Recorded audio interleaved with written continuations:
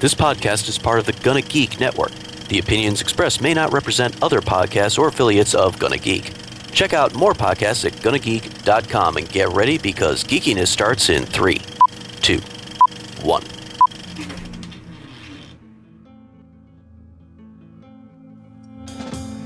Welcome to Arthouse Legends by High Art and Geek Culture Collide. This is the movie dude Eric, and I'm thankful for all the great movies that came out this year. Hey, there were some good ones. Come on. And this is Kent, and I'm very thankful for uh, every all my friends and family, and also having the uh, shooting script here for this movie in front of me. And this is John O'Lobster, and I am thankful for distinctive keychains. Amen. Amen. This episode, we're discussing The Ice Storm, starring Kevin Kline, Joan Allen, Henry Czerny, Adam Hann-Byrd, Tobey Maguire, Christina Ricci, Jamey Sheridan, Elijah Wood, and Sigourney Weaver, and directed by Ang Lee. Ang Lee, Yes. foreshadowing his turn in the Marvel franchise. Yes. Well, it was a couple of movies after this, and this was uh, th- this was his first American film. Uh, up to this particular point, uh, he had done mostly uh, Taiwanese films and a little British uh, uh, foray into Jane Austen called Sense and Sensibility with uh, Mr. Alan Rickman, uh, who we unfortunately lost earlier this year. Um, Do you think? Do you think though that like this movie seems really positioned to me because you've got three or four actors in this that are just about to kind of explode. So you had Oh yeah. to- Tobey Maguire, who was already kind of an up and comer in this kind of circle of films. He was doing movies like this and Wonder Boys and Cider House Rules, but he was just about to explode as Peter Parker, the Amazing Spider-Man. Oh wait, not the Amazing Spider-Man, just Spider-Man. Spider-Man. And you have Elijah Wood, who again has had a career up until this point and has been in stuff, but he was a couple, actually two years away from Being a hobbit. beco- being a Hobbit. Right? He would start Yeah. filming the Hobbit or the the Lord of the Rings Rings. series as Frodo, and I mean Kevin Kline, Joan Allen, Sigourney Weaver. yeah. Well, Those- Joan Allen actually was at, at, at a uh, she was at actually beginning her rise at this particular point. Before this film, she was in a an adaptation of The Crucible, which got her an Oscar nomination. And then she Yeah. did this film, and then after this, we had Face Off, and Sure. she did uh, a, a, a few other uh, smaller things, and then of course, uh, when And she we didn't mention- the 2000s, And we didn't mention her at the top of the show, yes, we did. But Katie Holmes. oh, yes, Yes. in this film was just like I don't know if this was around the time was Dawson's Creek already on the Nope. air or was That this Yes. like next year. just it was like Oh, just about to hit and then her career takes off both in in TV and film and celebrity gossip. And and then sneaking in once again this month is Allison Janney just Allison showing Janney. up right before Opening her career month, Jamey goes. yeah. Sheridan. We talked Yeah. about him in Spotlight. Jamey Sheridan Yeah. Spotlight does a ton of stuff. Uh, really, actually, I think one of the standout performances in this film. Oh, And- we're going to be talking about Jamey Sheridan. I can't wait. Yeah. and later on is the father of Oliver Queen. I don't know how much. Yeah, I think we mentioned that last time. we Randall Flagg, come on. Randall Flagg, sure. And this, yeah, this is just a fun cast. I mean, it's just a well, it's a well cast film. It's a, it's an interesting group of actors, and you can kind of, you can kind of think of this as an actor's movie, but it certainly is a, it certainly is a standout entry.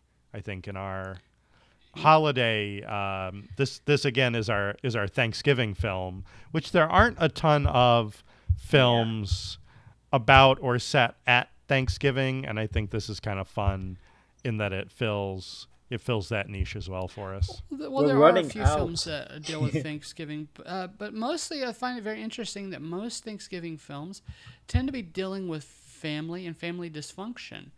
Um, you know, I think w- w- uh, we did um, planes, trains, and automobiles. Right. That was Yeah. a travel Well, but that was also about dysfunction because you had a, a, a, husband who wasn't there for his family, who was desperately trying to get back to them for the holiday, uh, yet uh, again, uh, you know, everything was thrown at him so that he couldn't get back to them.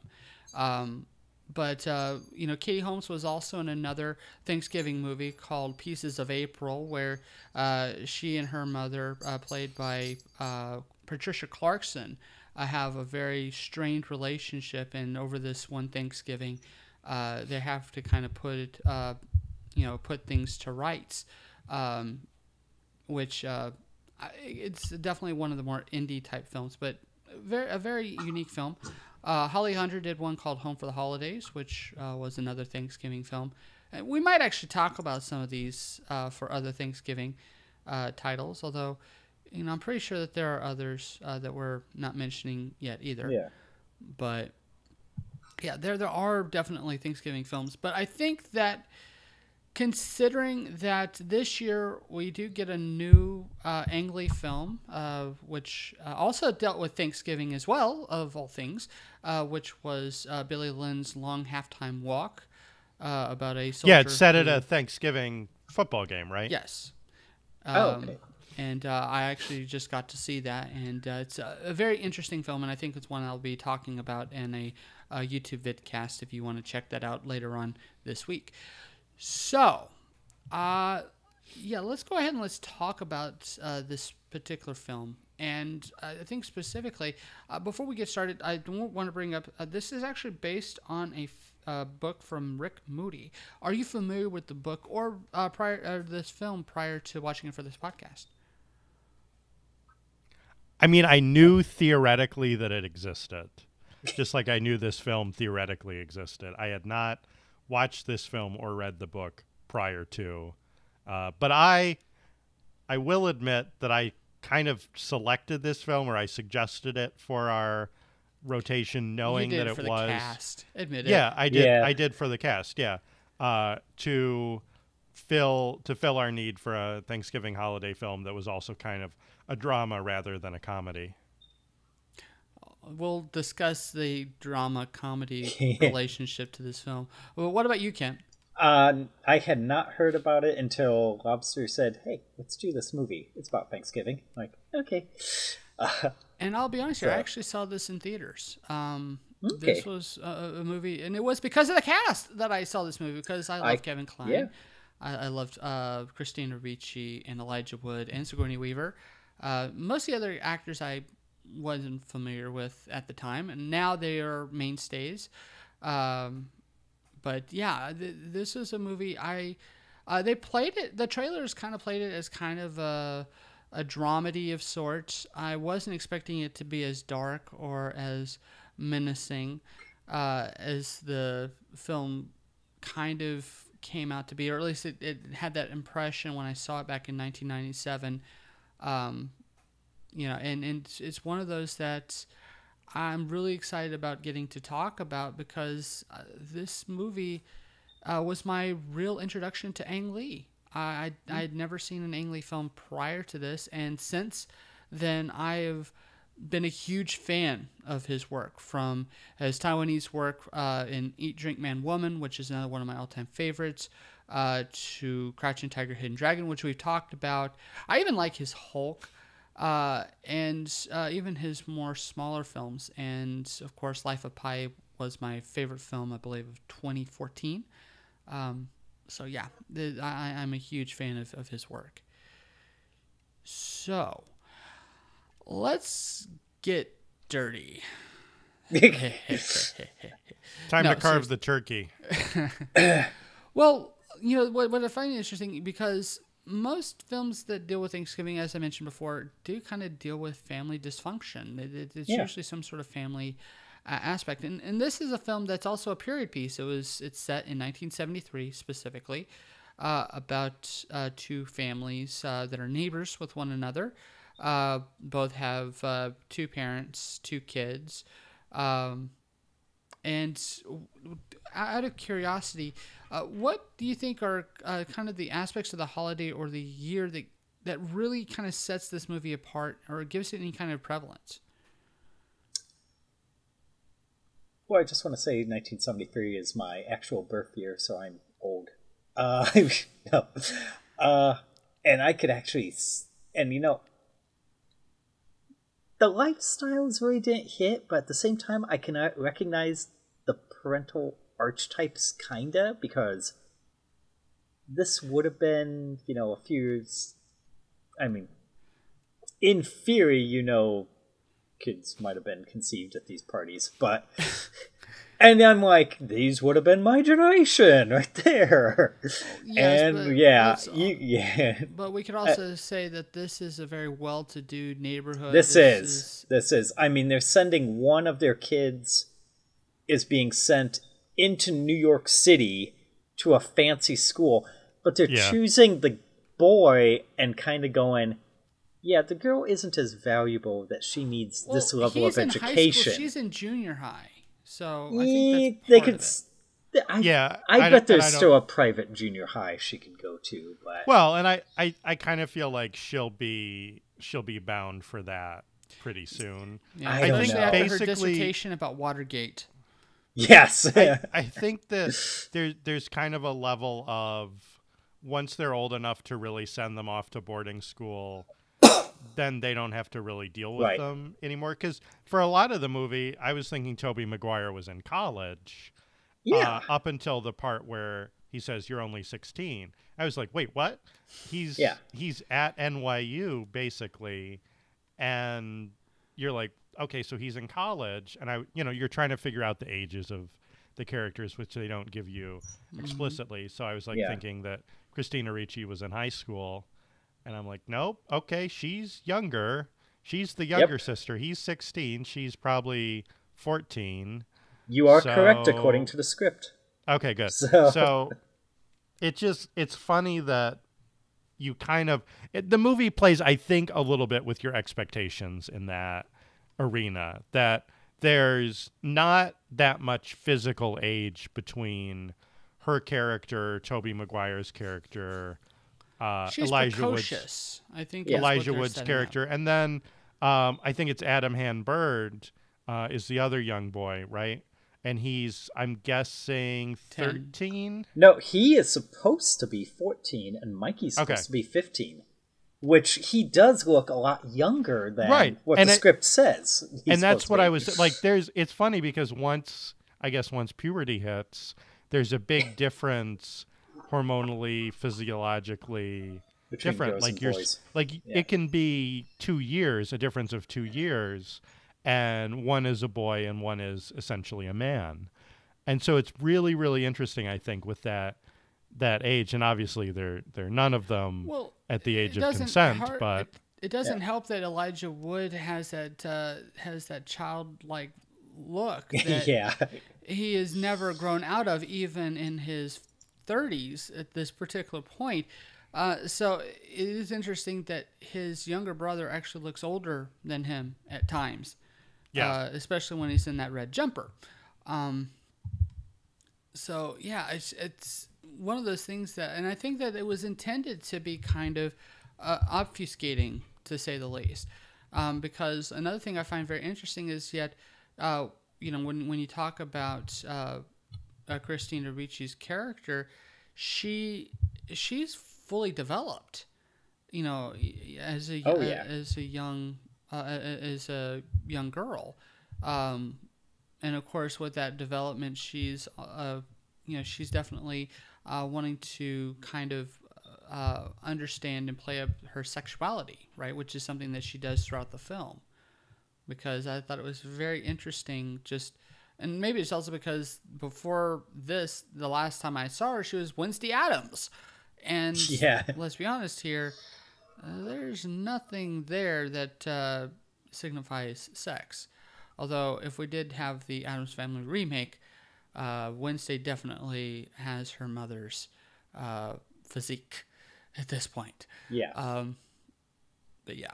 Anyway, Well, do you do you think that part of the film, and I was thinking about this too, is part of the film is about the kids acting older than they should and the adults acting younger than they should. Yes. That definitely Yeah, playing a a lot. I mean, uh, yeah. the first time we actually see that is at the dinner party when um, the kids are cleaning off the table and they're taking drinks from everyone's wine glass as they're washing them. Um, again, that's something that um, we don't. You know, it's not something that you would normally see kids doing, um, and I think that that's something that is played up um, in this particular film is that they are smoking pot, they're drinking, um, they're uh, trying It's the to. 60s. Yeah. um, No, well, it's no, not, this is but- 1973. It's 73, Uh, this yeah. is It's the seventies. uh, Yeah. th- th- this is after the summer of love, uh, and, and there, there's definitely still remnants of the uh, uh, of, of that counterculture. Uh, definitely still Right. Uh, pro- uh, Nobody's prominent. young enough to be conceived during the summer of love. No, You know what I mean? No, like, like no these four-year-old- aren't four or five year olds. Right It's no. now. if- if interesting that if these conceived aren't- at the summer of love. They, they would still be in Pampers. Right. So these aren't the hippies. These are the beatniks that are now a little bit older and have had kids in high school. Kids They that are in high missed the school summer and of middle love school. and they're right. Right. That's that's what I'm saying. Like they kind of they are at the stage where they have been adults, but now the sexual revolution has kind of trickled down into the mainstream, and or so trickled you up have if you look at it from a social perspective. Right, Yeah. trickled up, sure. So it is now it has now kind of reached them, and they said like the whole key party thing. They're like, oh well, this started in California, and now it's made its way out to the out to the East East, Coast, Coast. yeah. Now again, that's not you're not in the age of like the ice bucket challenge where you have something happen somewhere and then go viral worldwide. Like it's not it's not like that. It's it's taken time to kind of work its way across Well- that sexual liberation, the promiscuity, whatever you want to call it, has taken its its course and and well, you finally have to understand reached that Connecticut is is strata. the hipsters. You know, the, these are the people who keep up with uh, style Well, they're- magazines and they're the yuppies. I think is the They're not even term. that. Not this is pre all of those. Well, they've already they've already reached uh, the, the the heights of you know they're not reaching any higher. They're already in the Yeah. boardrooms as we see. They're they're not you know yuppie means that they're still upwardly advancing. Um, they've they've reached the pinnacle. They've reached the destination. Uh, but they want to stay hip. They want to stay in the know. They want to stay uh, on on the cool side, as we see with their fashion. I mean, look look at all the fashions that we have here. This is stuff that you would not normally see you know, uh, outside of something Yeah. posh, outside of, you know, they're, they're wanting to impress one another with how edgy their clothing is. I mean, look Seventies at the, fashion. I'm curling into a fetal Look position at over the- seventies fashion. I mean, Oh! I mean, look at the cleavage line on Sigourney Weaver's clothes, and and bear in mind that she Okay. is a middle-aged woman. You Yeah. know, this is something that you would probably see on a twenty-year-old, and you know, she, and she definitely is playing this up. The, I mean, even the whole key party aspect to it. Yeah. Uh, it, it, I mean, this is this is hookup culture, right? This well, is, it's like I said, it's they're they're acting much younger than their age. They're Mm-hmm. they're sleeping around. They're Yep. drinking too much. They're drinking and drugging, and I, I don't know. And they're obviously dressing or behaving. Uh, the the I think the really telling one is when the woman brings her son to the key party. Yeah. Which is bizarre. What, no, what's telling is the guy saying, "Why didn't anybody bring their daughters?" yeah, Yeah.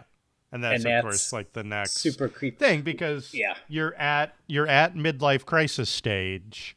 So once you hit that, you're looking for the younger, the, the faster, the flashier. Which aren't these parents what we would call the baby boomers, or are they a little older? Um, I think they're. I think they're the baby boomers first because gen baby, the baby boomers. boom They're happened the just first after yeah, they're like the group. first round. Which yeah. which tells me that if this is based on the original novel was based on the writer's experience experiences as a child of these kids, yeah. Mm-hmm. boomers need to be quiet about whenever they slam on millennials or Gen X whenever they go, Oh, all you guys think about is blah blah blah blah blah. Oh really? I have this book and this movie you should look at. Well, that we had the kinda same thing with The Graduate for crying out loud. Yes.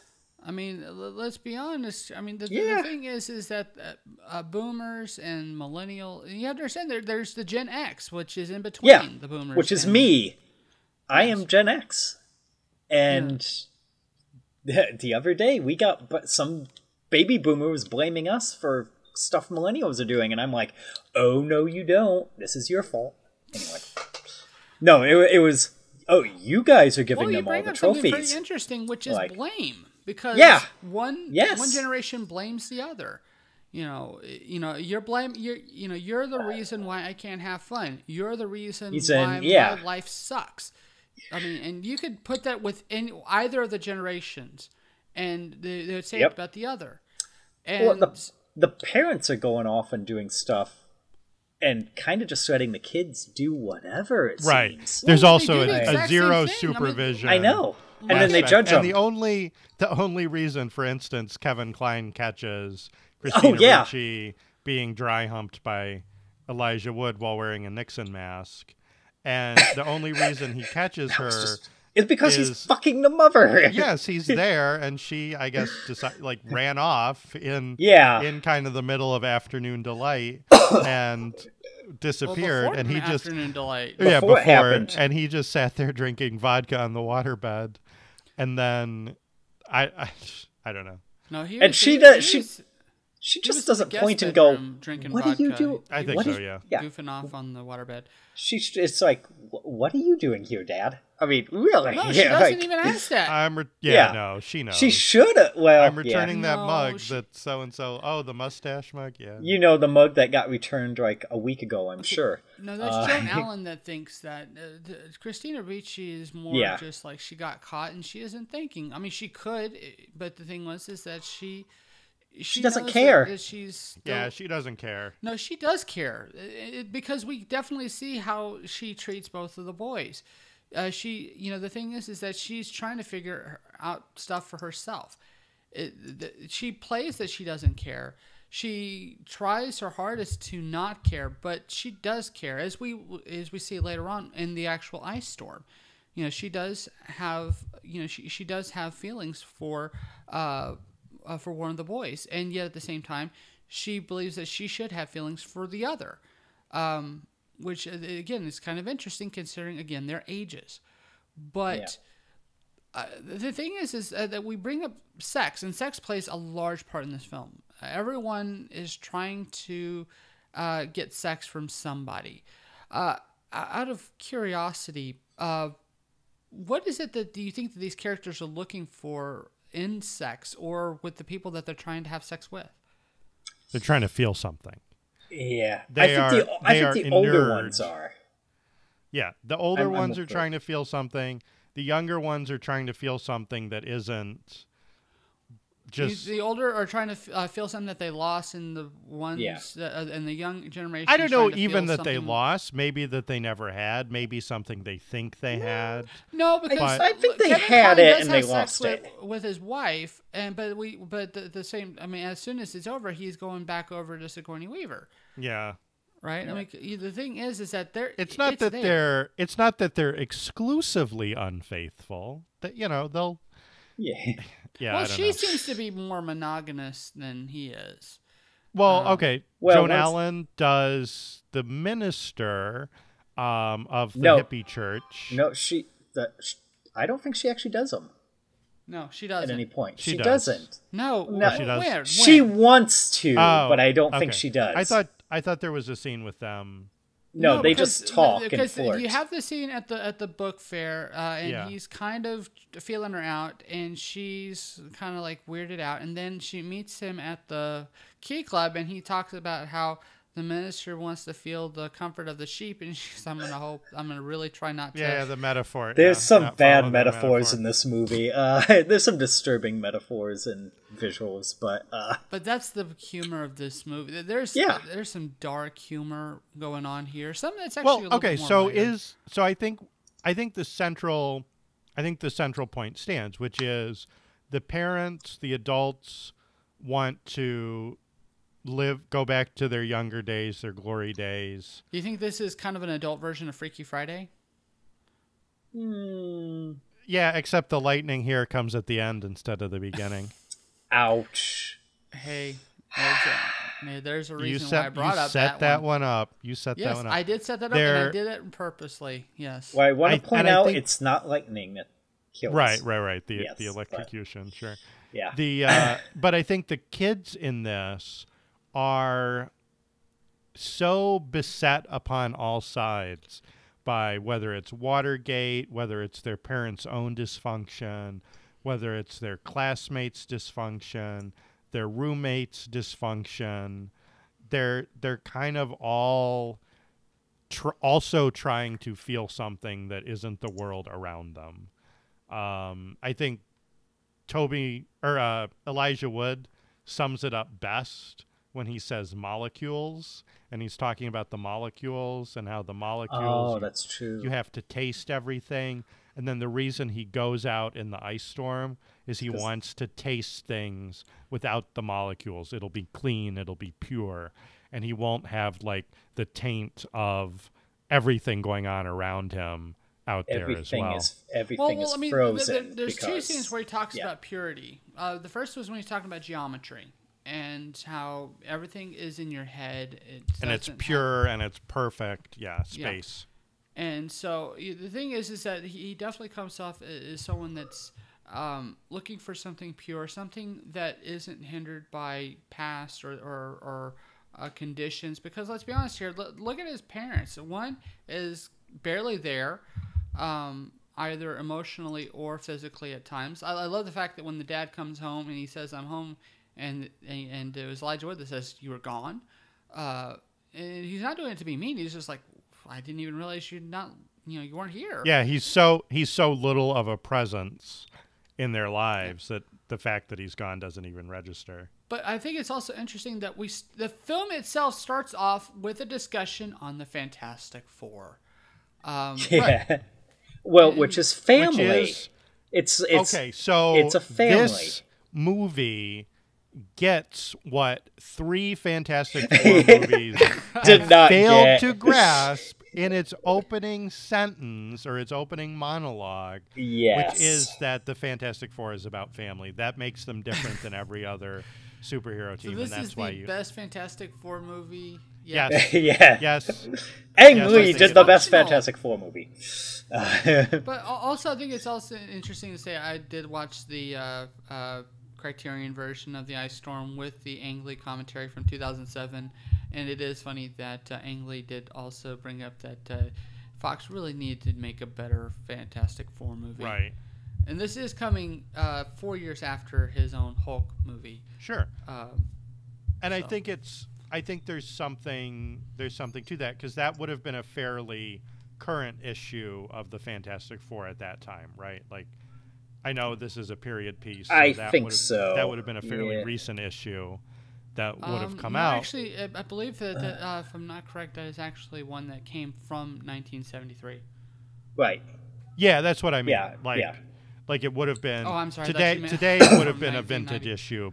Yeah, but today it would have been a vintage issue, but or when the Probably movie im- was made. probably important to the original writer in some way. Right. The So, script I mean- actually has all that. and it's in a it, so- good and it's a good metaphor like the fantastic four i think works in this sense and if i, I guess if you're going to have a comic book that that Mm-hmm. is the the thing for them to talk about that kind of makes sense i wish and again yes i, I do wish that that future fantastic four writers and directors had kind of gotten the, ha- the a hold of that um, maybe So if they ever decide to reboot Fantastic Four, uh, you'll send them the Ice Storm. It's like, hey, look at this. I think it's re- Yes. I think it's required watching. I think like that's what I don't I don't really feel that any any Fantastic Four director or script writer I, I don't think that they've gotten the family aspect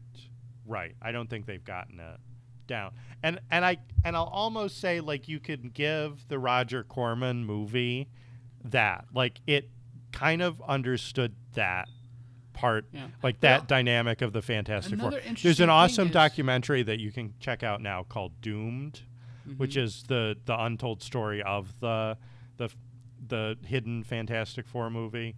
Oh, Yeah. the one from the uh, Nice. Roger the one from the early 90s, yeah, that Yeah. was made just to keep the rights and then promptly buried. Another interesting thing is, is that the, the Fantastic Four speech actually plays as foreshadowing because if you look at it from a time linear perspective, what he, the the panel he's looking at happens around the exact same time as Mikey's fate. Yes. Um, that Ju- ha- about yeah. I I, th- I thought that was extremely interesting. That you know that ha- most of this movie is done in flashback. Uh, we're actually seeing the end of the film uh, before we Right. get to the As the beginning, first and scene, we go yeah. back and we find out what happened up to this. And point. that's how I tried to figure out who was going to die because I knew someone was going to die and I was playing the game of who's it going to be when you know well, you know, these- four of Yeah. them aren't going to. Because Yeah, I know. I was like Well, these yeah. four characters are still alive. Well, and clearly do you something has happened. As a side note, since we know Mikey died, do we think uh, you know back in that apartment that there wasn't an overdose going on? Oh no no no! That was my that was my backup plan. So my Ah. first one was that Mikey is clearly going to get himself killed, When, he, when he goes Yeah. out into the storm, and my second one was they're going to be she was going to OD. Yeah, they're they're both going to OD, and they're going to be like, we just got a call from New York. Yeah.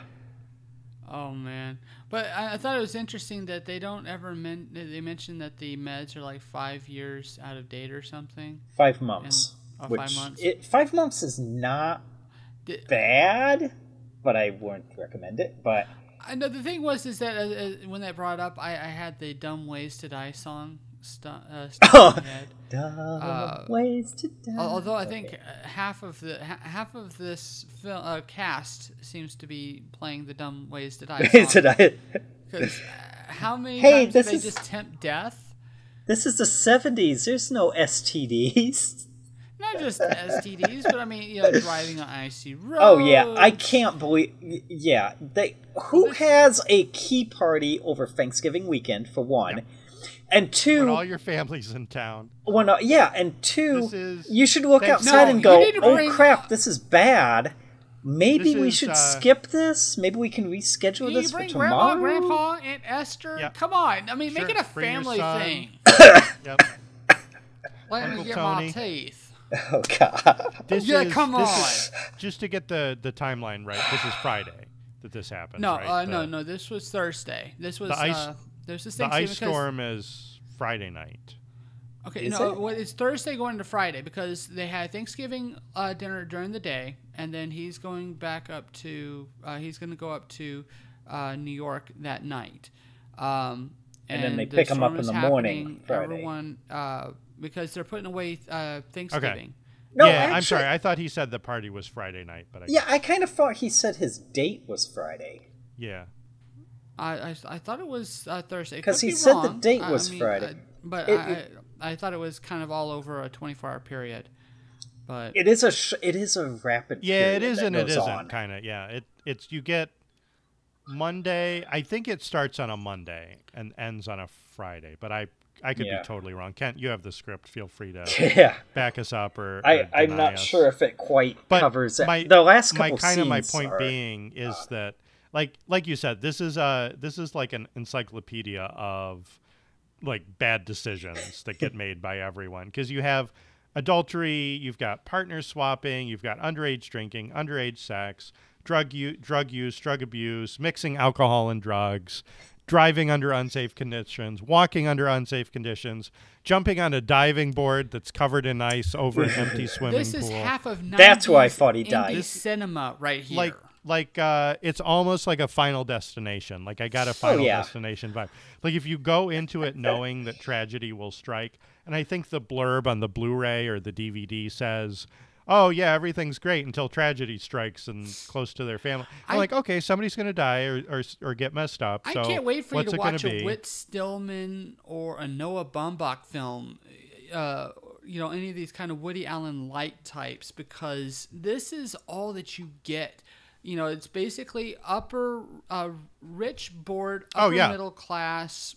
Uh, Sure, I've seen the squid and the whale. I get it. They can't you know that all, they can think about is just you know, poor impulse control and way too much money and not a care in the world. That's pretty much what most of these are. Um, hell even uh, woody allen goes into this in most of his 80s stuff pri- uh, primarily. You know just a lot of bored people who just you just don't care. They don't care uh, you know they, they, it's almost kind of uh, Marquis de Sade-ish at, at points, you know, where you know that, that they're willing to sacrifice themselves and their bodily, uh, you know, and, and, and risk bodily harm uh, for pleasure, which they may or may not even ca- really get anything out of. Uh, it's, it's kind of weird in that particular sense, and it's one of the reasons why I have a hard time with many of these films caring about the characters because you know they don't care about themselves why should i care about them either and where with this particular film it has an ace up its sleeve which is that you have kids who don't know better and that we Right. kind of, that we really don't want to or, see them fall or into also the same kind of pitfalls. do, kind of do know better because we know that someone's body is a temple and you shouldn't go messing around. Yeah. oh come on you, would you would you Oh, buy God, that the- the bullshit hip- you know It- fr- I think from- there the the hypocrisy of the parents ca- Yeah, depends that's- on the that's a kids big- not knowing Yeah. what's going on, or the and the kids kind of know, but they just I mean, did they're you not look a- at all they're those not Yeah, willing to hypocrisy throw it at is- them. Hypocrisy is a good point. You're right, I think, to bring I mean, that did up. you and- notice all those books that were in the book sale at the library? You know, Yeah. uh, Well, that's what I I- that's what I was trying to make the point earlier about the sexual revolution. The this Is has filtered up. into Yeah. pop culture. So you have this. This is You know, now like ev- ev- everyone's read it. They've passed it around and they've put it in the the church uh, book sale bin. no, no, no, it's library, Well, library. that's Not Okay, right, right. but fair enough. I- like it's yeah. it's now not um it's not controversial, right? These aren't this is not a book that you're going to hide under your bed. This No, is a book that you're going is to the put norm. put on the coffee table. Yeah, Edgy is the norm. I mean, again, they're all, they're all trying to compete against one another about who's the edgiest. Right. I mean, what They're what have do you think is the, the deal about the key do- party? Yeah. I mean, Sex. that's that's the whole point of the key party is to be edgy. It's to be hipper than the squares, you know, in the Well, next and the- town over. instead and of again, just this, yeah, this they could- film comes at a great time in the 90s where you're going through the Clinton scandals. You're going through the moral panics about rainbow parties and jelly bracelets and things like that. You mean the made up shit? Right, exactly. Yeah. But this is this is kind of like the same time period and you're also seeing like a revisitation of these um, these sexual tensions uh, in the 1990s. So this, I, I think it's a great, it's a great use of a period piece in the time period that the movie is made as well. Well, I mean, 73 is considered a down period in American history. You know, it was the Watergate scandal. Yeah. It was the, uh, the, you know, the end of the Vietnam War. Um, it, wa- it was uh, not exactly the best time, and especially for Thanksgiving, the, you know, the, the holiday that uh, should be about what you're thankful for. Is there anything that these people are thankful for? Do you see anything that they would, uh, especially given uh, uh, Christina Ricci's uh, uh, thank, uh, blessing? Oh, yeah. or Her rant, political rant about everything. Yeah. Well, I think uh, Kevin Kline's character is thankful that he could sneak over to Sigourney Weaver, but uh, But that's even about that, it. he's not really getting anything out of because what he's really looking for is a connection, which she doesn't want to give him. But she refuses. Yeah, when she's like, "Well, he." I already have. Let's- one let's face it, he's- for another. Let's face it, he can be boring. They finish up sex, and what's he talk about? Golf. Like, Well, he's looking for a No. connection. He's he Ah. thinks that he, the thing is is he's he's looking for someone that will actually listen to him because it's, It's- clear that his that, that that Joan Allen isn't listening Yeah. to him.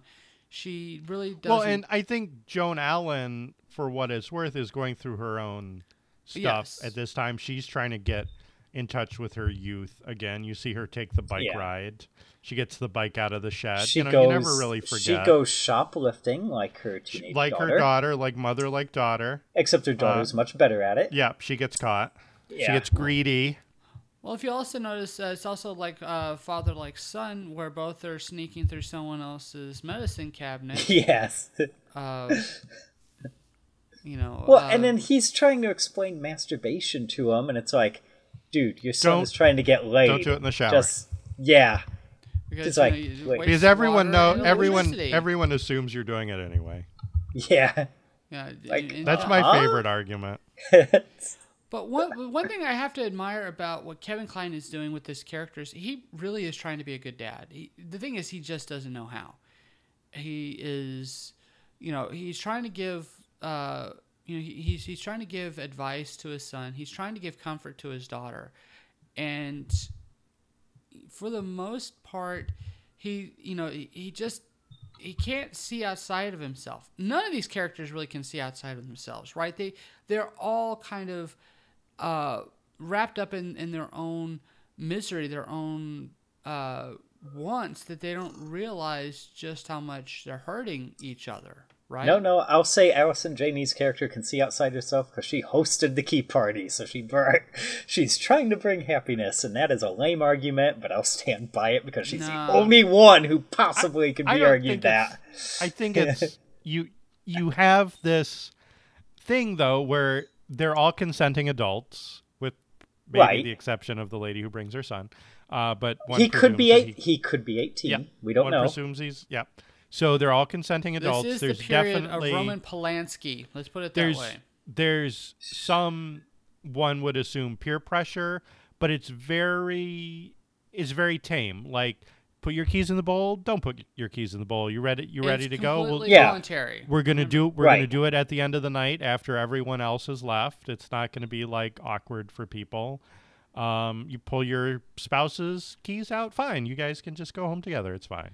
It's all good. And one thing I really love about this, we're not talking about very sexy people.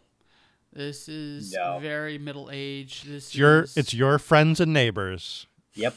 You know everybody at that party because you have common friends or you're, You're on the PTA together. You're on the school Yeah. board.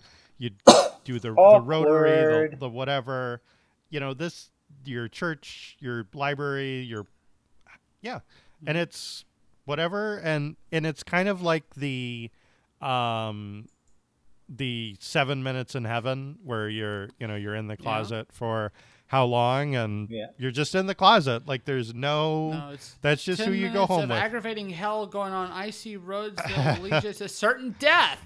Um, I think it was implied that everyone was going to spend the night there, but I don't know. No, no. I think exactly. some 'cause they- people they, could. keep saying like, like who's staying. but, Yeah. yeah. Don't please do not go out on those roads. Having Yeah, driven in conditions like that, And the cars of that era were not no, horribly well designed. unsafe to at deal any that. speed. as we see when you know uh, Jamey Sheridan's car just careens off of the road, um, leaving them kind of stranded. Although I, I have to say, um, I, I love how we build up to the key party. I, I love how uh, basically Joan Allen kind of catches Kevin Kline in the lie about the coffee mug, Yeah. and how th- you know there's a question about going to this particular party. Uh, when they find out about the key party, you know it's like she's the one who decides to go ahead and do it because you know why not? You know, and on top of that, she finds out who he's been sleeping with. Uh, uh, I, I love the fact that he gets too drunk to be able to do this, and that it ultimately comes down to her and Jamey Sheridan. And, and I'm gonna say right now, the scenes with Joan Allen and Jamey Sheridan are probably some of my favorite in the film, um, because you could just tell the pain and the sadness and the frustration. Uh, Um, and and that sex scene is so unsexy and so sad. That is the most. That is the saddest sex scene yeah. in a movie, probably since um, what's his name had sex with a pie. That's Or I not guess this- sad. That's just awkward. Uh, but it's this is great. I love Jamey Sheridan. as an actor. Um, I'm kind of confused why Henry Czerny's character gets Because billing- Kevin Kline and Hen- okay, uh, well Henry Czerny, Czerny um, he's a bigger name at this particular point. Uh, he was in a few uh, Canadian productions, and he was also in Clear and Present Danger. and he was Harrison just Ford. in Mission Impossible, I think, right before this. Yes, He he played Kittredge. uh, I don't I don't I'm like his character really isn't a factor in the film. If you look at if you look at who gets top billing in the cast, he's the only one that's not a member of that family. Well, and I guess David Krumholtz. Well, but David Krumholtz isn't either. But the one thing that Henry Czerny's character, I, I think, is pretty interesting because he is the outsider, right? He is Kevin Kline's rival in business. Um, he is kind of everything that Kevin Kline isn't, or that, that Kevin Kline wishes that he was. He has the charisma. He has. He knows exactly what to say. Uh, he's always fair game for practically everything. eh, well, literally everything because who does he go home with? Yeah. We were all thinking it. Mm-hmm. And he's like, "Well, all right. See you later, gents. I'm Yeah. off. Ladies, have a good. I bid you good evening. Better But- go." but i i- the thing is is that you know but but he but he is you know we, we get the sense that there's genuine jealousy of Henry Czerny for Kev, uh, that Kevin Kline feels uh, in this entire film and so when he shows up at this party and he's showing you know he's showing up uh, Kevin Kline. He, he everything he does, he becomes the life of the party. You know, everyone's kind of interested in him. He, you know, he has he makes friends very easily, and you know, Kevin Kline is resulted to drinking because he's getting nowhere. He is miserable, right? Yeah. Ah. That whole party was weird. So, Yeah. and it was kind of hard to follow in the script because they edited the end of the script. Fl- some of those scenes are flipped from what the script was to what it finally showed up on screen. Mm-hmm. Because Mikey, when he goes out, they kind of in the script, all of those scenes of Mikey are like contigu- right in a row.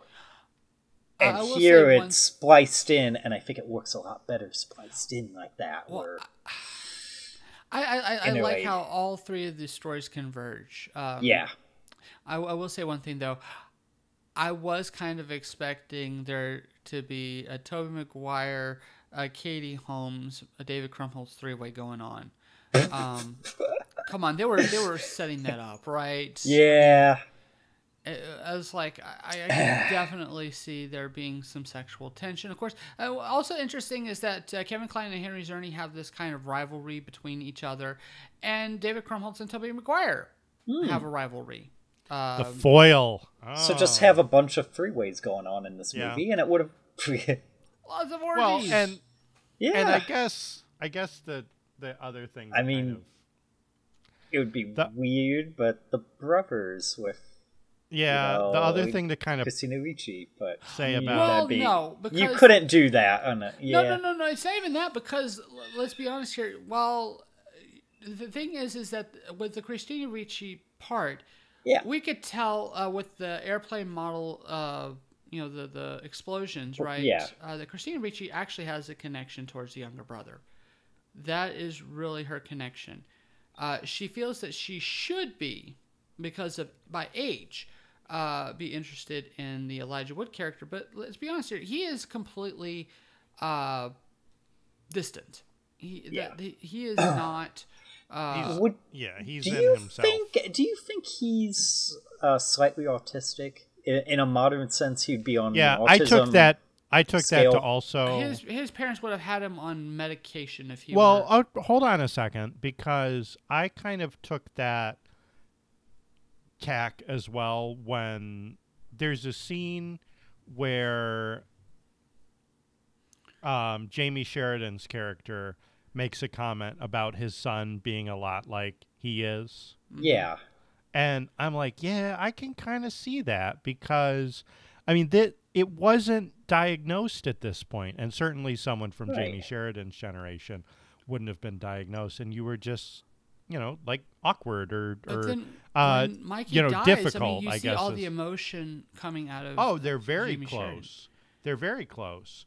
But there's also sort of they both have a little bit of awkwardness about them, I think that and the base- fact that and the fact that they not autism. well, and they're It both be, very though. focused on their like the technical aspects of their work. Like he's all excited about the about silicon, which is something made from sand, hmm and like he he gets really into that. And we find out that that's why Henry Czerny is interested in him because he's making these pioneer these pioneering advances in the materials that he's dealing with and uh, Elijah Wood's character is very preoccupied with the theoretical and molecules and things like that. He doesn't really relate to the world in but he's not a really emotional- as we find out. He's well, that's also Yeah. not disqualifying. Yeah.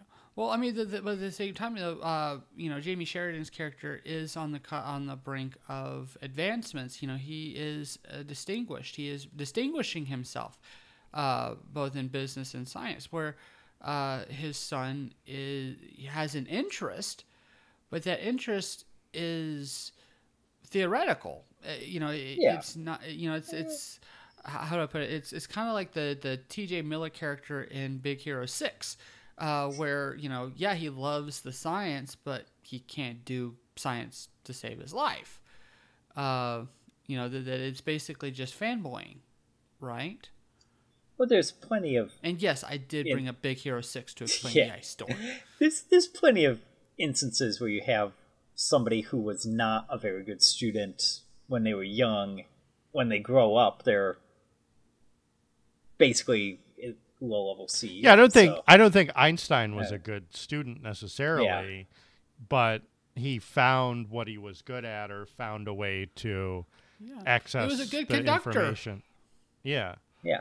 So, yeah, Uh, I, I hello? I think there's an argument that you can make that maybe these characters are if not on the spectrum that they they do kind of represent non non-traditional types of characters in film. And I think that that that connects well with the general dissonance that you have. Like everyone in the cast and I think this is kind of core to the movie or, or core to the story probably in the book as well that everyone is struggling to relate to the world around them. They're they're struggling to find what it is that makes them feel whole Uh huh. and whether it's Tobey Maguire's character who just wants a girl and I guess is Well- and I and I guess kind of you got to give him a little bit of credit. He does come up with a good plan. It is not Yes. a, like not a nice plan, but he's gonna he's gonna slip slip his you know not slip the girl a Mickey, but slip the rival a Mickey Mickey, mm-hmm. yeah. to get him out of the way. And then once the girl ends up taking one too and falls asleep with her Head head right in his in his lap, I'm like, okay, Yeah. let's let's not do this. And he mm-hmm. doesn't. He he lays her down semi gently and gets out of there. Because he's a romantic, just like his dad. Uh, Well, he's a romantic, and he also doesn't want to be implicated in Well, two in the- potential oh, overdoses. Well, in the shooting script, he calls up uh, his sister before he leaves, and basically asks her, "What should what should I do?" Because he's thinking about doing something wrong. yeah. Well, I mean, you why- can tell wait, he's yeah. thinking about it. But Well, of course Yeah. he's thinking about it. I mean, he's And not. then- I mean, it's the object of his affection is literally fallen in his lap. She's just not conscious, and you so know, he's like, "Well, it's the mo- It's that moment yeah. of truth. It's that you know that, that The moment of- that, temptation." yeah, uh, you know, it's, it's it's that thing where you know he, you know, is he going to be the you know be the uh, the man that he should be, or will he just give in to his weakness? And again, this also does. Is he going to be a hero? Uh, comic book reference? Mm, Yeah. I'm still. No. I, Now, I if you he's, al- just- I think he's Conductor already joke. not a hero by Yeah. drugging them. but but no, Hey, but no, they- no, wrongs don't make No, right. he didn't. He, I will say, he didn't drug them. They drugged themselves. He said, "Hey, this is exactly what this is." No, And he I'm drugged putting it here and- Krumholtz didn't know that he Mickeyed him. It was uh, uh, it it was Kitty Holmes that Yeah. actively took yeah, the and drug. and he was like, "No, maybe you should just take half." No, no, no, come on, you you got it out of the shelf. yeah, you break it, You, you, took buy it down off the shelf. Here we go. But no, the, the, the thing is though is that you know the, the, in a way he becomes better than his father in this scene because his father is weak. His father is you know he, he you know who can't say no. Um, here he does. He he actively says he he actively makes the decision um, that he is not going to do this, and um, and then of course he runs like hell for the train that he's about to miss. Yeah, Uh, that he's going to spend. Is he The whole night on. all night in the fucking train? Is, is, that, is that even a thing? I, I'm not from the nor- uh, from the north, so I, I, I really uh, is there people that actually like sh- when you go into New York City, uh, should you like pack a, a sleeping bag in the off chance that your train will uh, lose power and that you won't go anywhere? Yes. I get the feeling that power outage was kind of unexpected. Well, Well, no, the no, no. It's, it's no it, doubt but- the it's power the unexpected, but- power outage is when the power line goes down and kills Mikey. Yeah, That's when the train loses power. Yes. That's the same electric Yeah. pole that one assumes powers the train. But to answer Eric's question, now I'm I'm glad that he brought up this point because okay. it is important to understand the transportation dynamics at work here. Yes, you can get stranded on the train in the middle of the night. But all night. Be- Will it take them all night to get you to uh, to uh, uh, to New Canaan? Yeah. It. Yeah, I Yeah, like, I know- literally, yeah.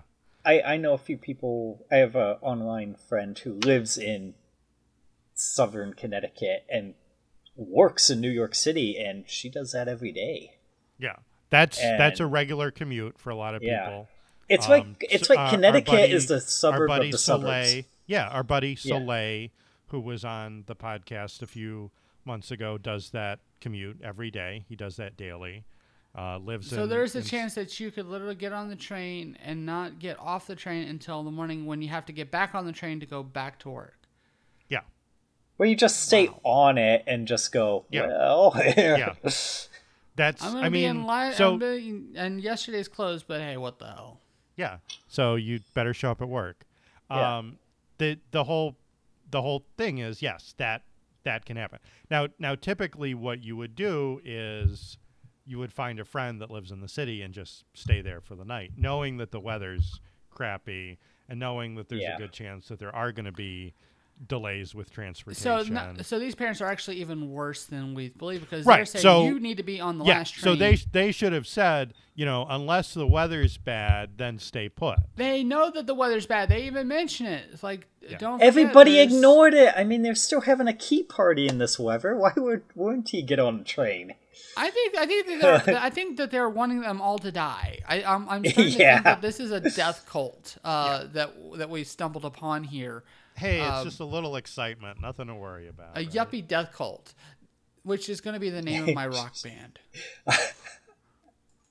But all right, so Yeah, no, I mean it, it- Like like we said, there are this. This is like the encyclopedia of bad decisions, things that you should not do. Like log- logic would dictate that if the weather really is that bad, stay home. Don't Right. go out on the roads. Don't try to take a train somewhere. Don't drunk. You're just dr- going to end up getting stranded. There was. Um, this is not snow, but snow is This is worse. This well, is ice, ice. Black ice ice? is worse than snow, but sn- like ice will melt the next day. The snow, like the snow, sticks around. We had um actually just about two years ago today, uh, or or this time of year, Western Yeah. New York had a big blizzard, and so there were parts of the Thruway, uh, which is the the big expressway that runs up uh, along along Lake Erie, uh, to Buffalo.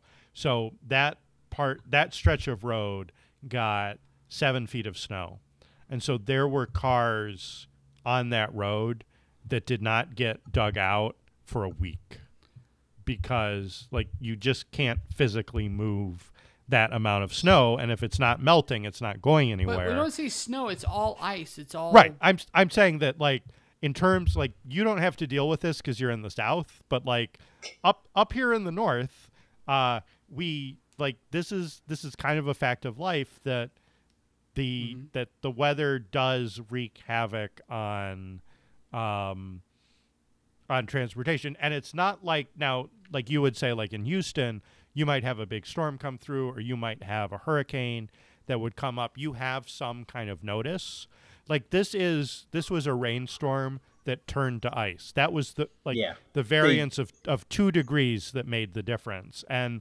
that's really tough to predict in the general weather sense even a few hours ahead of time to say okay the temperature is going to drop just enough that this rain will freeze. It won't turn into snow, but it'll be rain that ends up freezing and turning into ice. Like that's really, really tough to predict and and plan for. And so even if the weatherman gets on the six o'clock news and says it's probably going to turn to ice tonight, it may or it may not. They're they're just saying, okay, keep an eye out for it. Yeah.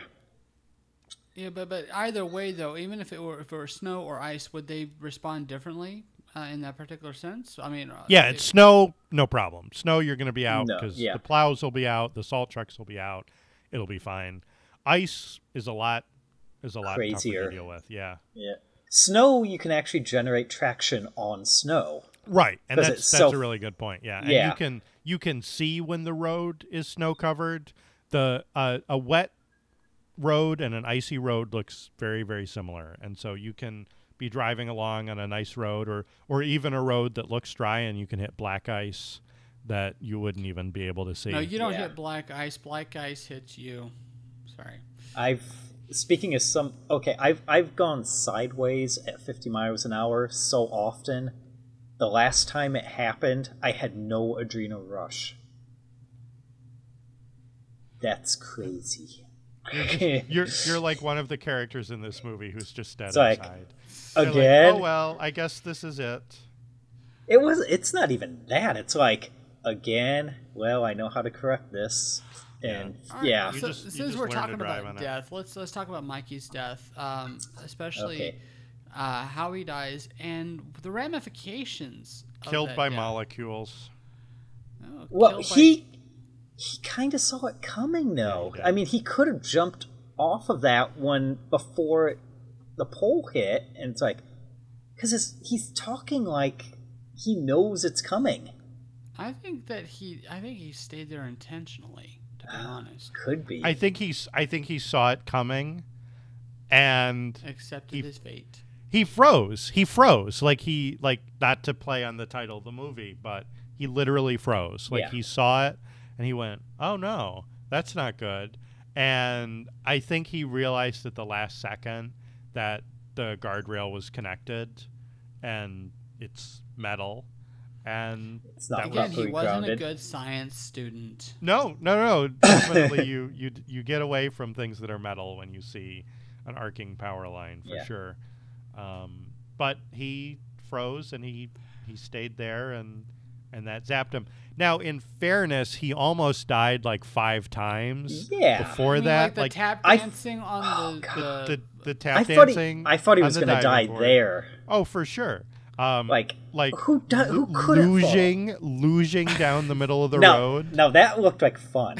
Except if any Oh, other yeah. car showed up, I could see his dad running him over. Like, He i- if he die. assumes that nobody's on the road because of the ice, I could, well, I, my my group of friends would have done shit like that back in the So- back in the so- ni- early '90s if we People- knew nobody was around. Yes, but we'd you- be looking assume- out too, going, You assume. "Yep, don't see that- any headlights. We're good. Go." You assume that that it, no one will be on the road because of the ice. But Yeah. anyone on the road It's has gonna no kill control, you. Has Yeah. no control, and it's not like they're going to see you and just swerve out of the way. Nope, you're you're that's it. You're I, toast. I'm surprised Kevin Kline's character stopped at the end of the film and didn't like lose control and smack into him in the well, down and, lines. and I think he realized like he like you saw him weigh his options. Like, do I get back in the car or do I just carry him?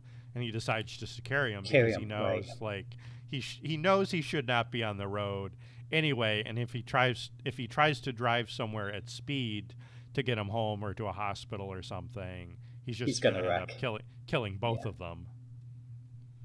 But Mikey's already dead. Mikey was Yeah. dead pretty much before he hit the ground, and I, that's I, I think the the aspect of his death that really haunted me was the fact that after he had died, he just slid all the way down. oh yeah, he the- kept sliding. Yeah. You know, he's just, and, and I and I also find it very interesting. There, there's an aspect to this I also liked was the fact that he was in the red jumper, um, which um, del- and first off it helps, especially with it being a night shoot, uh, to be able to differentiate him. Another thing I found uh, it's a small little detail in the film, but I, I found it actually very fascinating, is when he leaves his house. Um, and you see him go through the window that's been iced over. So he looks like this red spot uh, that is fading um, from the uh, from the window, and again, especially because at this particular point, you know that something really bad is about to happen to him, right? Because he's leaving on his own. Um, something's going to happen, right? It's, it's it's kind of like almost like a rule of of uh, art house films. It's like if if you go out on your own during terrible weather and you wear something red, you're dead, right? Red shirt. Okay. Parka. Yeah. Starfleet issued parka. Dead. Okay. But no, I just, uh, but I do find it interesting. I also, again, I, I, I love uh, Jamey Sheridan uh, when uh, when Kevin Kline brings uh, Mikey's uh, dead body back, and I, I love the delayed response of the entire family when Sigourney Weaver comes and she sees, um, and then of course uh, the younger boy, and how uh, Christina Ricci reaches out to him, right? Yeah. It's like I don't know, just i there's a connection, right? There, there's this is connecting these two families. They can't just ignore this. They're not going to be able to deny each other over what happened because this connects them. This brings them together. It, it fuses them together, right? This death um, is is cathartic in a way, right? It a- it it's a is, and I think also it isn't because what do you think the next few days or weeks are going to be like for these families? Knowing knowing what's already gone between all of them. I don't think that they're going to get to back together. There's not going to be family picnics between the two, but they're going to recognize each other. They're going to have to. They're going to have. I mean, they're- they're not. One's not going to move away, right? Oh, you don't think so? No, Do you think the divor- the divorce is going to happen? That I they- don't think so because uh, w- the reason why I don't think so is because of how Joan Allen uh, goes into the bathroom with Kevin Kline. I think she understands that he's lonely. I think that she truly does understand. I but she leaves him there. She le- she No. leaves him there. She leaves him there because she needs time. Uh, she needs time Yeah. away from him. yeah, But and she goes home with She says Jamey we'll Sheridan. talk in the morning, and she isn't saying that like we'll talk in the morning, like you know, prepare for divorce court. I think it's look. I understand. She she that that really pitiful sex scene made her realize that. And I don't want to say that this is all about her not being able to get better than Kevin Kline, but I think that in a way she realizes just how lonely that she is and how lonely he is, and that she is the one that's going to be able to she's going to have to be the one that, that, that, that brings this together. She's going to have to uh, open up because the one thing that he can't do is open up to her because every time he does she moves away from him we see it when he tries to snuggle up to her even when they're having sex it's Yeah, like, so oh, let's just get that's- it over with Yeah. Yeah, that's why I don't see I don't see anyone in this movie moving closer together with the possible exception of Christina Ricci and the younger brother. Like I could almost see She- no, the- that the- he's going to see her as, as the death of her of his brother, and and that's uh, I, I completely see the Why? opposite. I don't think so. Why? Yeah, why? She had nothing to do with his Look death. at his face when she's hugging him. He's associating her with No, his I dead think brother. he's I think he's associating her with comfort in this moment. Like he cries, but he cries because his brother's dead, not because she had anything to do with him. They both they both let him go out into the storm. Um Well, she wasn't not- there when he went out. But look at but but remember how he responded with the whole uh, "you show me yours and I show you mine." She fulfilled her part, and when he felt the pressure, he associated her with that antagonism. It's, it's something that, that we see over and over with him. You, he, if he confronts something that is painful, especially if someone is proactive, he immediately takes the defensive posture. Yeah, but it doesn't stick. I mean, she they get he gets in bed with her. Like, you know what I mean? Like Yeah. like I I could see your point if that was like she he didn't have anything to do with her the rest of the Because movie, he- but because- they they clearly move past that, and I think they're going to move past this. And what what I think is kind of interesting is so right now, I guess from the script perspective, they're a year apart in in age, right? No, they're the same age. The same. No, age wait, in wait. Well, No, who are you no. talking about? Tobey Maguire? Chris- no, No, uh, Christina Uh, Ricci Rich- and the and- the younger brother. the younger I forget his brother. name. They're the same age. They're, They're the both same supposed age to be in, the, in fourteen. the script. Yeah. They were And I supposed think to that- be, but the, the the way that They- they, yeah. set it up was that she Yeah, is the way- the same age as uh, Elijah Wood. Yeah, Yeah, but and so he's there's supposed a- to be there's a- They may be in the same grade, Right. and he's they older. could be. They could be. because that does happen. At so. most, what two years different in age? Mm, I don't. I At most, I think they're in the same grade yeah. at least. But I my so my point is But- that that's a big difference when you're in middle school, being like a grade or two different, or a year or two different, or even if you're in the same grade. But when you're older, when you're 18, 19, doesn't really make much difference, right? Like, I think that you'll see them, if anything, be kind of what holds the two families together. I don't think it's going to be any of the relationships with the parents. And to quote a cliche, I think they'll stay together for the kids. Uh, well, we'll see. I, I- again, it's one of those things I think it leaves on a quandary. Um, another reason why. Well, right. I mean, we, like we won't see because that's the end of the movie. We don't Well, no, really no, know. no because, future because they pick up Tobey Maguire and then Kevin Kline has a breakdown. And Yeah. watch how uh, Joan Allen responds to that. She doesn't respond by being distant. She actually comforts him. She brings comfort to him. Again, it's a, it's showing that she's Yeah, and again, in to in front of the kids, I think that's But she doesn't of look at the kids. She looks at him. Her concern is only him, because she doesn't look back at the kids. She doesn't show. It, it doesn't show that she is connecting the kids to her actions. The film doesn't uh, put that because it puts them in a two shot. There's no showing of the kids.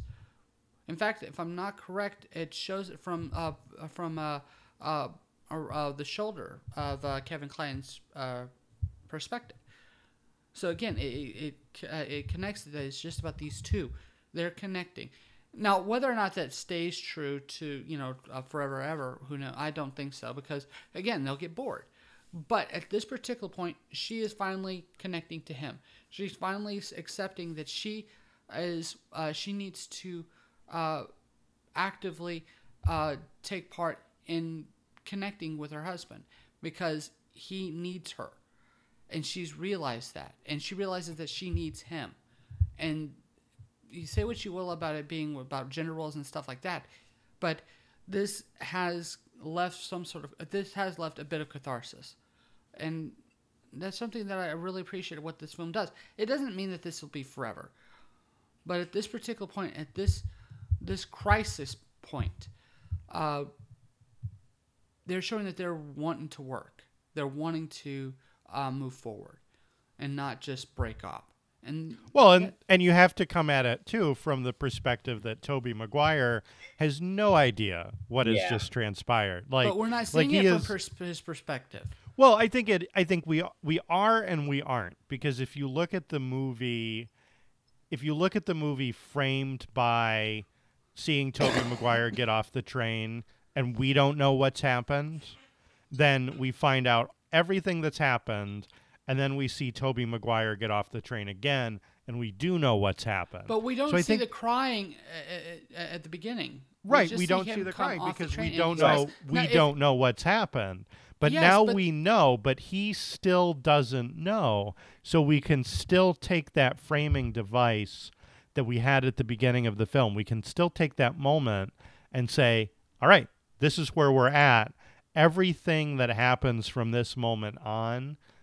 is is an unknown we we don't know What visual how they're gonna- show that though? What, what where is the indication? That, that that's the problem here, is that we're, we're it's we're not a problem at all. We have we have the framing device at the beginning, knowing that this is where the story starts, and then we go back and flashback, and then we catch up to present time, and Tobey Maguire has no idea what has happened. He knows nothing about the key party. He knows nothing about the ice storm other Okay, than it does he slowed have down his does train. he have voiceover at the end of the film? No, but it the voiceover at the beginning is about well, yeah, he he kind of does have a little bit more on the train at the end, right? Doesn't he talk more about um the The Fantastic, Four? Fours a little. Yeah. Yeah, yeah, he goes back into that um monologue that he was doing, but then so this is this is kind of like the interesting thing. Actually, no, he do, he doesn't have voiceover. What it is is that the film shows him looking at the Fantastic Four, and you see that the WAP, uh, where the uh, again, uh, kind of bringing back. yeah, the, the death. Yeah, the well, not death, but like um, the dealing with Franklin Richards, right? Is is the Mhm. story, and and so the parents have to, I guess, they erase his mind or something, but um, but that's really that's really kind of I think crucial is that you take you bring his character back into it, being kind of the he knows nothing of of what happens. He doesn't know that Mikey has died. He doesn't know really anything that's happened in this intervening period. He's been on his own stuff, which has been busy enough. Yeah. But you're kind of Um, now coming back into it and that's where the film leaves off is where like where does it go from here? But he has no idea now why his father is crying in the car. Yeah, there's He no just visuals knows- or or any kind of signifier. So I I I'm going to disagree on this. But, But, what are you disagreeing with? Because I don't think you're understanding my not, point. This isn't from Tobey Maguire's perspective. This is uh, all this is is that this is sh- uh, again the the framing pers- uh, the framing device is to show how uh, what caused this particular uh, train to be stopped. If, if you want to look at it from uh, Maguire's perspective, the rest of this is the connection between the parents and the children.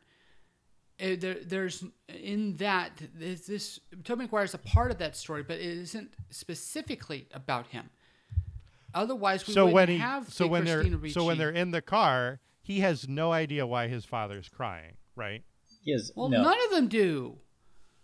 Because it's None more of- than just the death of, of Mikey. It's everything that has happened.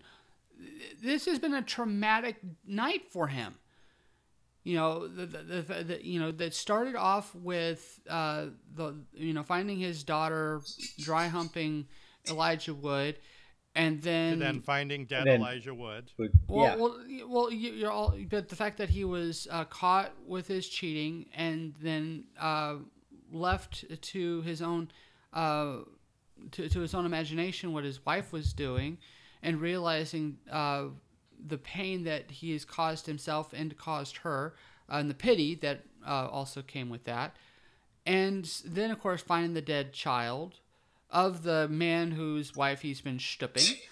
Uh, again, this is it's been traumatic. This is he's gone through a lot, and she's realized this, and she and I think that uh, that's the thing is that this isn't just Tobey Maguire's story. This is all of their stories.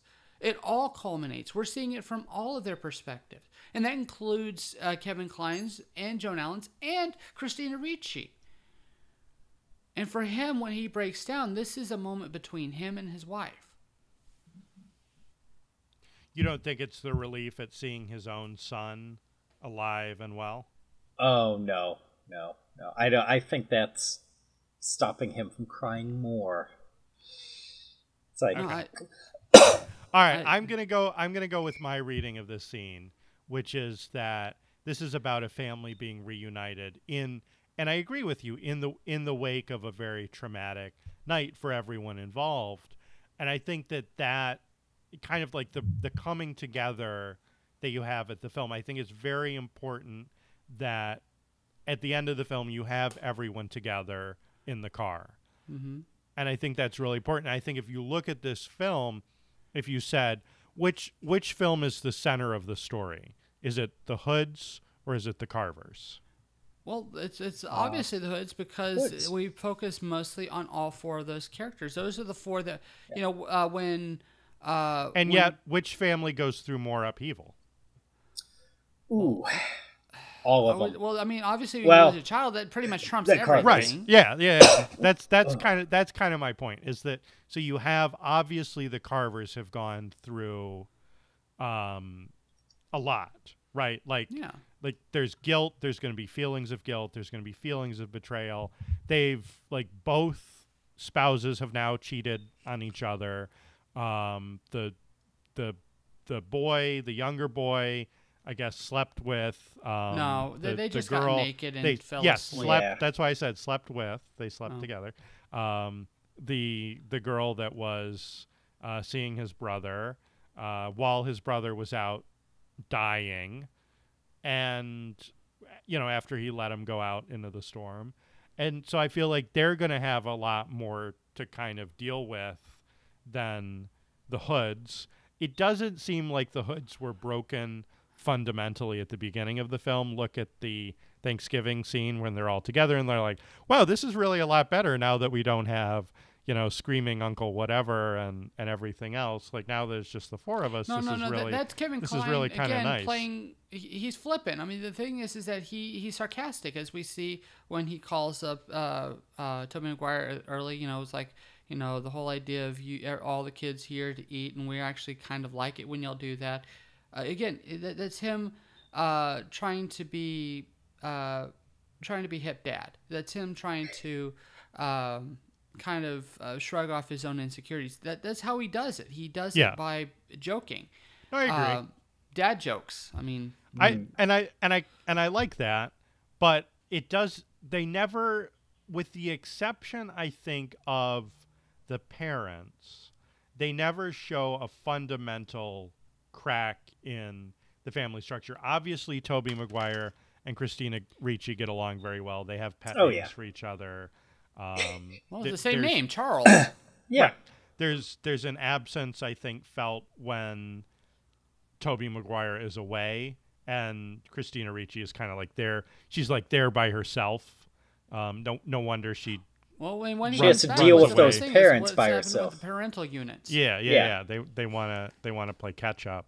So I I think I think it's interesting just kind of in summation to look at the the core family and the core family dynamic in the movie but it's not necessarily who who is dealt the harshest blow it's kind of just seeing seeing how they deal with that is that going to destroy them or make them stronger And I agree completely on that. Um, and I think that their that their pain is different, and that's another thing I like about this. We're not comparing pains between Hoods and Carvers. They they're, they're going through their own problems. I mean, like like when Sigourney Weaver comes home after being taken home by her date. I mean, what she does, she curls up in her bed, i- i- fetally, you know, lonely, distraught. She, you know, for the for the rest of the film, all that we see is this strong, sexually liberated, independent woman. You know, she's you know. I mean, she, she's the, the, the definition of a of you know of a feminist wife. You know that you know she's going to take what she wants. You know, she's a Samantha. You know, if we're going to go Sex in the City, and then at the end of the day, she can't look at her son, and she curls up into bed in a fetal position, lonely and distraught. Yeah, and she we never see her like she doesn't know that her Sigourney Weaver. We don't know she doesn't know that her son is dead No, when we see that final she's shot. She- lonely. she's she's lying in bed and she wakes up to the anguished cries and she just kind of lies there. Yeah, well, she. I mean, the, what what do you expect? I mean, because she's not. She puts on a strong face, but she is not strong. She is weak. All of these characters are weak in some manner. In fact, I'd say the strongest two characters are Tobey Maguire and Joan Allen. Uh, because Joan Allen is put through a lot, and she still has the strength to, to forgive. She still has the strength to uh, unite her family and to uh, be the mother, uh, be a mother to uh, her daughter and to her son.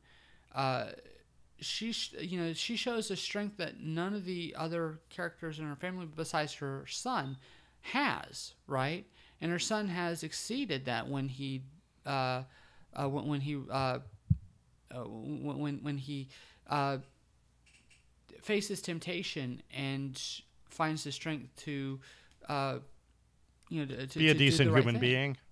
Well, yeah. Believe it or not, being a decent human being takes strength. It, it, might not be something that we that, that, that people you know we should get cookies for or be complimented for. But yeah, the the minimal amount of human decency. You're totally right. Well, no, I mean, again, it's a lot easier to destroy than to build. It's a lot easier to to give into a base desire than to say no. I'm going to do the right thing. I mean, that's why we that's why we celebrate people who do the right thing. To face uh, to, to face the thing that we absolutely want and be able to say I'm better than this. Again, I'm not saying that you should get a cookie for it, but I mean, he also, like you said, I think he also kind of just abandons them there, and when like we hope that they're okay, but we don't ever see him is, check but for is he pulse. doing it because he because he's scared, or is he doing it because he thinks that they're okay? If he thinks that they're okay, uh, whether they're okay or not, and again, I'm not saying that he's smart. no, I think sense, I I'm think just- that he's scared and, and wants to get out of there and not miss his curfew. Well, I think well, I think he's scared about missing the curfew more than he's scared Yeah. about what happened in that apartment. But again, it's it, the the reason is important, and you know the fact that you know he he, he starts running when he see when he looks at the, his watch, that that indicates that it's the time that he's concerned about. It's but not. I I don't think he would have been as concerned about the time if she had stayed conscious and a willing They were talking. Yeah. I don't know. You know what Uh, I mean? Like I, I think that he would have That's a hypothetical. his- I think He would have made something up. he would have come up with some excuse not Perhaps. to go Oh home. no, I couldn't make it to the station because Yeah. the, Oh, the rain. weather. Yeah, Hey, yeah. weather. Hey, baby, Uh, it's I'm cold just outside. gonna I'm just Come gonna on. stay here in the Yeah. city where it's safe. And yeah, Which- there was something yeah. in that drink. Sorry. I, I Yeah. It's to. cold outside. All right, folks, we're getting long. All right, Let's but before I have one more question before we Oh, call oh. it, uh, because this came out in 1997. A few movies came out that year. uh, There was a lot going has- on. Yeah. 1997 was one of the best years in cinema. I'll, I'll be honest. it was here. almost 1999. Uh, Yeah. Uh, but uh, we, you know, Titanic, L.A. Confidential, The Full Monty, Good Will Hunting. I believe As Good as It Gets came out around this time too. All the Star Wars Uh, special editions. Uh, do we really want to put that in?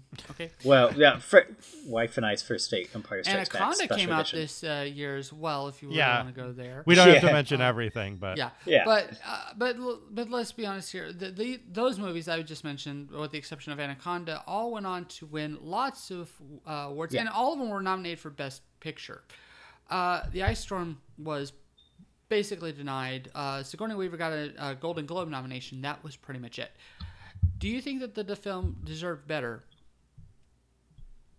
Oh yeah, definitely. Yeah. And I don't think Sigourney Weaver's was the standout performance in the film either. So the fact that she No, it ended was up Joan with the yeah, the fact Yeah. that she ended up with the nod for the Golden Globe, I don't really. Joan I don't Allen's really- been denied uh, Academy Award nominations so many times they should just basically call it the Joan Allen should be the Academy Award nominee So- award. She's like the uh, uh, what's her name from the uh, daytime Emmys? Uh, Susan Lucci. She's almost. Susan Uchi. Yeah, We could almost make a DiCaprio joke, but we can't anymore. Damn you, Revenant! Making yeah. an A- Amy Adams uh, joke. There you go. Hey, ironically, Titanic. I I think Uh, it's a shame that this film didn't get more recognition. Not only because you like you mentioned you mentioned all those films, and I guess Titanic, LA Confidential, they're period pieces. This I think fits in with what some of the awesome period pieces that were made in 97. I don't and I think it's culturally relevant to the 90s in a way that probably Titanic I don't think really was. And it fit so well within kind of what was going on in that time period that I think it's kind of a bummer that more people haven't seen this movie. And that's why I want to I want to start a campaign to make this one of the go-to Thanksgiving movies, almost like a Christmas story on Christmas Day. You get 24 hours of a Christmas story. Let's do 24 hours of the ice storm. How awesome would that be? I would be so much more for 24 hours of over 24 hours of a Christmas story.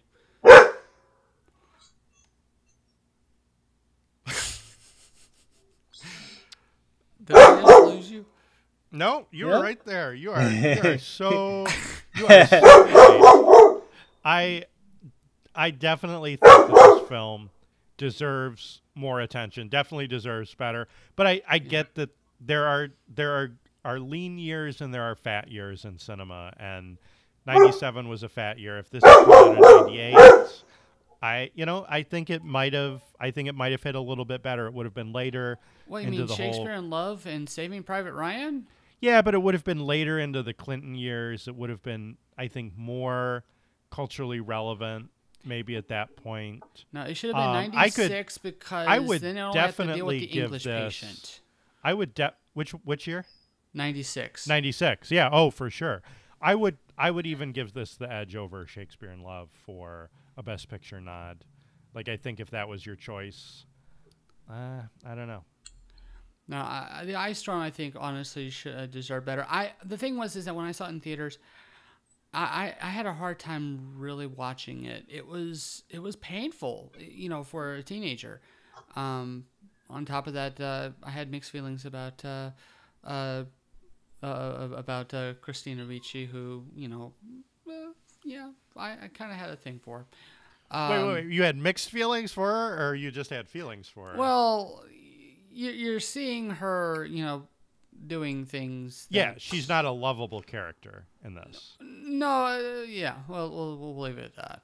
She's Um, a bad but- girl. She shoplifts. She, you know, plays messes around. She's wears a Nixon mask. She doesn't Mm-hmm. like Nixon though, which I'll, I'll give her credit for that. Yep, that Nixon mask was Yeah, just not, not exactly. that's Nixon that's fan. gonna scar some people. So Um, I want to point out the similarity between her Thanksgiving toast in this and Wednesday Addams' Thanksgiving speech. Yes. fa- Oh, by the uh, way, Addams and, Family uh, Values.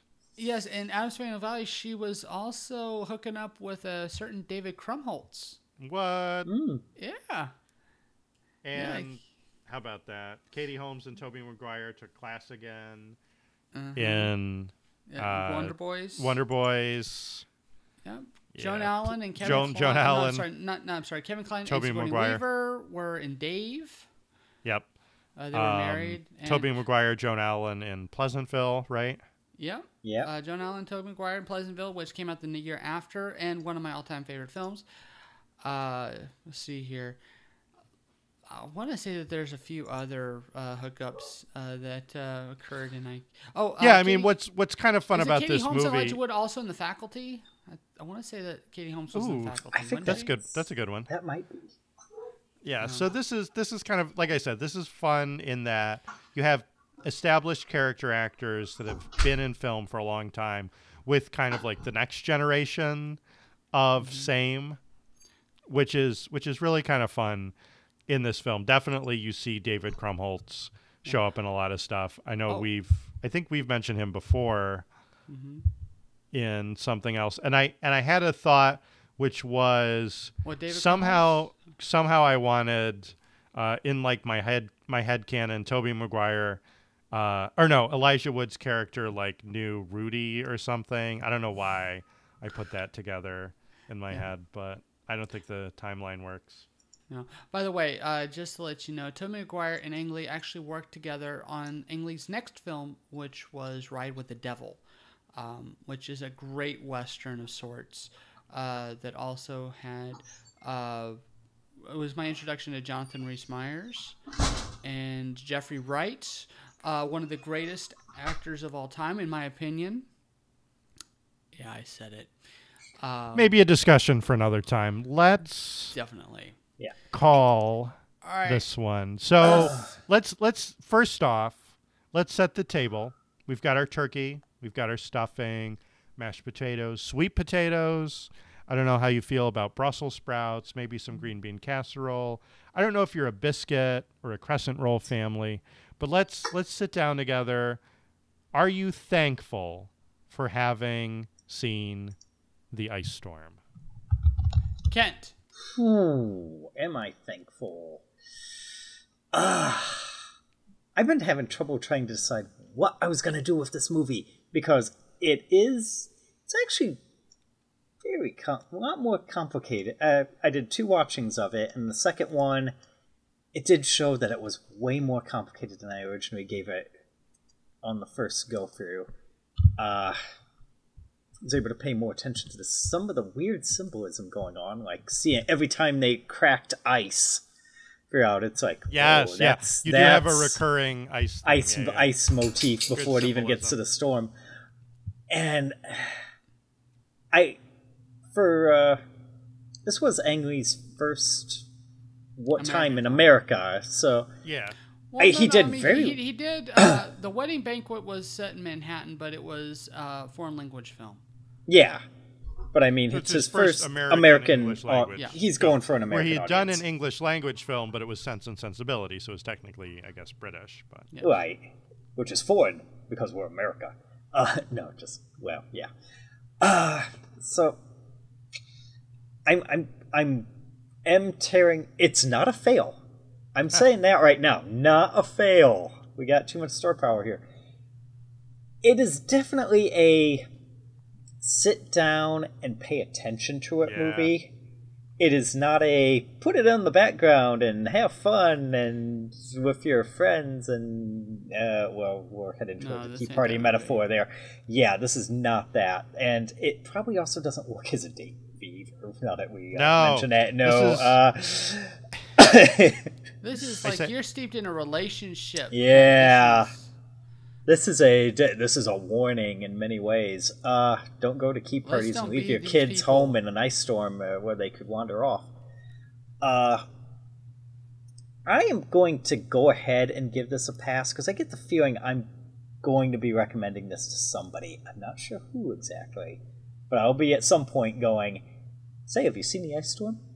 and just saying, "Yeah, this would be this is the kind of movie I bet so and so would like." And Mhm. I I think that's where I'm going with this. So All right. yeah, Lobster. it's passing. all right, it's a pass from Kent. It's going to be a pass from me as well. Okay. So I I'm the one who kind of pushed for doing this movie. I wanted to do a Thanksgiving movie that was maybe a little bit different. And this I think definitely qualifies, but you got to give this movie credit. It does make you think about your blessings and be thankful for the stability in your life, the or the things that are stable in your life. And and certainly you can you can look at whatever economic situation you have going on, whatever family situation you have going on, whatever's going on, it's not as messed up as these people because these people literally have everything. They are not uh, they're not suffering. They are not out on the street. They are not, um, you know, visibly uh, sick in any way, but they are s- inflicting destruction and, and self destruction on themselves and each other. And it really kind of makes you stop and think. And I know this movie was, or the, the novel at least by the author was written uh, as an FU to his own upbringing and his own own parents. And I understand that after he watched it, he wept through the closing credits at seeing his vision realized and and I know that I think that um, they actually did some softening too to make the parents a little bit more sympathetic in the film.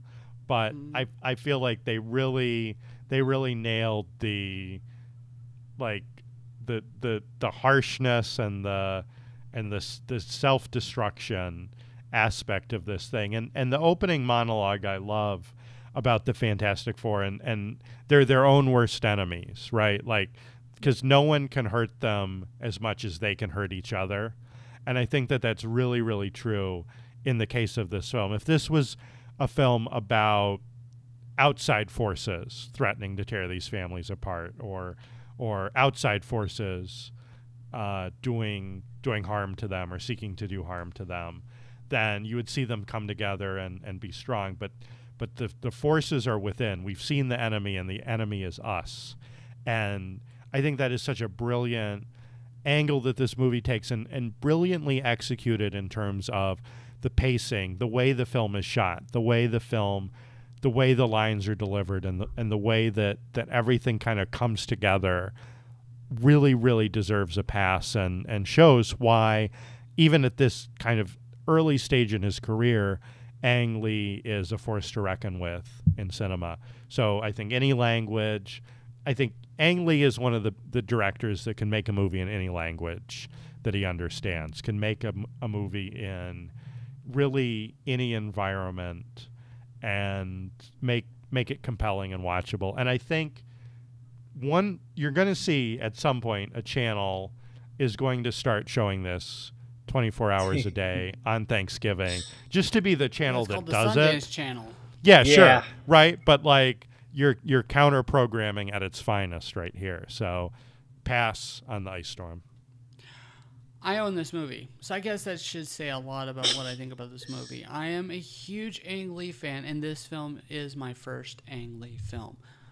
I this movie made me uncomfortable the first time I saw it, and but it was that kind of uncomfort, the discomfort that you feel when you see something that truly hits home. And like I said, there are other films that try to get these the same type of characters to and get you to care about them.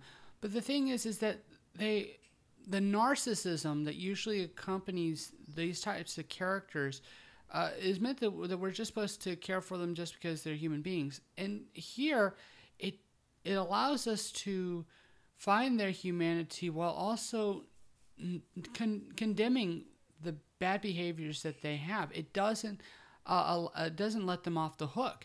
We're not ever supposed to uh, forgive them entirely for what they've done. They have to forgive themselves and they have to forgive each other.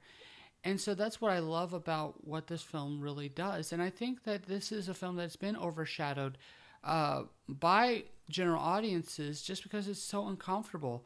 And yet at the same time, I think that there is something hopeful about this, that there is a light at the end of the dawn, that, you know, that family will be there uh, after a night in a frozen, you know, a frozen train car. It there, there is something more to this film, and that I think that as time gets gives it more credence, and especially the Criterion Collection, uh, making it a part of that selection. By the way, uh, it is half off at Barnes and Noble for the rest of November 2016. Oh. Uh, so if you get a chance, I would strongly advise picking it up uh, because it, there is a lot of good stuff here. And yes, I, I love this film. It's not my favorite Ang Lee, but then again, I, I have a hard time picking my favorite Ang Lee at times. Uh, he, he just jumps all over the place. He never makes the same movie twice. And so I, I, I love that he gives us this glimpse of American life, and then he'll go and do a western, and then he'll go and do a, a Chinese kung fu film, and then he'll go and do, uh, Fuck. uh, you know, a Yeah. movie about cow, you know, gay cowboys.